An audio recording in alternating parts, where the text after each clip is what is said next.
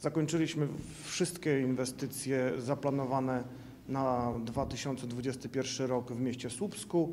Ostatnim, ostatnią z inwestycji jest oddany do użytku park imienia Sendlerowej, park przy ulicy Wazów. E, Park, e, e, który nosił tytuł Plac Zabaw dla psów i park dla dzieci. Tak więc nie jest to tylko park dla, dla naszych mieszkańców, dla milusińskich dzieciaków, ale również znalazło się miejsce dla, dla naszych e, przyjaciół, e, czyli dla piesków, gdzie znajdują się nowe wybiegi, furtki, ogrodzenia, kosze i tym podobne, różnego rodzaju atrakcje dla psów. Teren jest wygrodzony.